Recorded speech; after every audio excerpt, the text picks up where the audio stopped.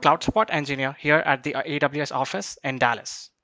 Today, I'm going to show you how users can migrate to an Amazon Relational Database Service or an Amazon Aurora MySQL compatible edition database using AWS Database Migration Service. Let's get started. After logging into the AWS Management Console, navigate to the Database Migration Service console. Then choose Replication Instances in the navigation bar on the left. Choose the button Create Replication Instance. On this page, we will enter the required details such as replication instance name, version, instance class, VPC cloud, storage, and availability zone preference. From the Advanced Security and Network Configuration, choose VPC Security Groups, Replication Subnet Group, and AWS Key Management Service key to use, if any.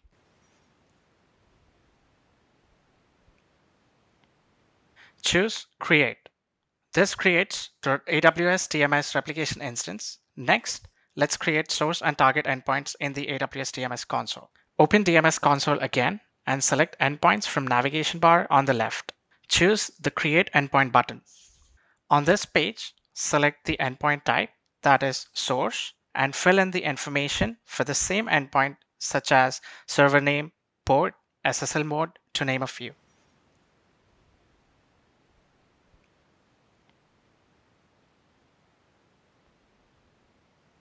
Choose Run Test button. When the test is successful, choose Create Endpoint button. Next, repeat the above steps, but this time for endpoint type target, which will be Amazon Relational Database Service MySQL instance that we migrate to.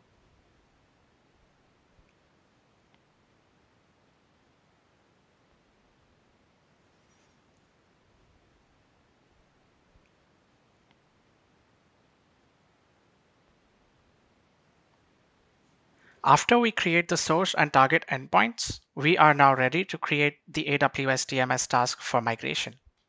Open the AWS DMS console again and select Database Migration Tasks from the navigation bar on the left. Choose the Create Task button.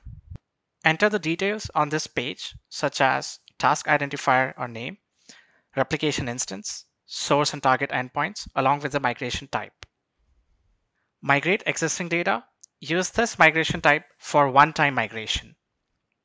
Migrate existing data and replicate ongoing changes. Use this to migrate large databases with minimal downtime. Replicate data changes only.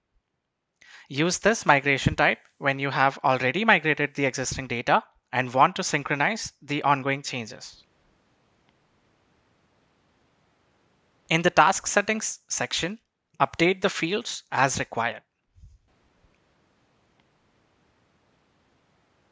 In the table mapping section, mention the schema and tables under selection rules that you want to migrate from, along with any transformation rules that you want to apply while migrating on target.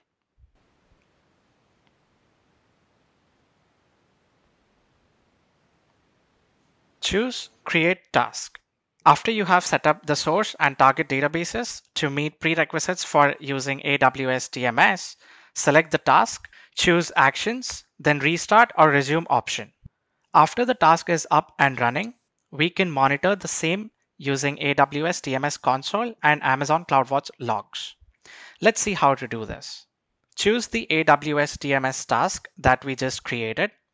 There we can see the full load progress percentage. Then in the table statistics tab, we can see which tables have migrated successfully and the ones that are left. In the CloudWatch logs, we can see the error messages if the task fails or if it runs with errors. In the logs, I stands for informational messages, W for warnings, and E for errors. So now you know how to migrate to an Amazon RDS or Aurora MySQL compatible database instance using AWS DMS from any source database.